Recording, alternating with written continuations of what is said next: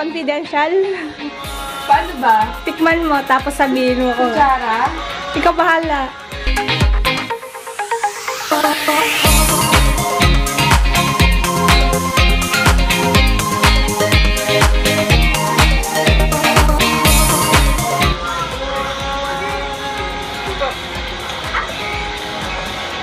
Sarap. Sarap.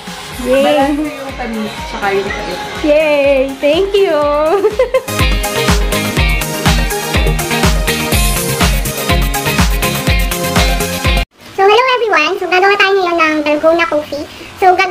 gamit yung Milo and yung isa naman gamit ang Nescafe. So, sa mga hindi nakakalam kung paano gumawa ng Dalgona Coffee, just watch this video.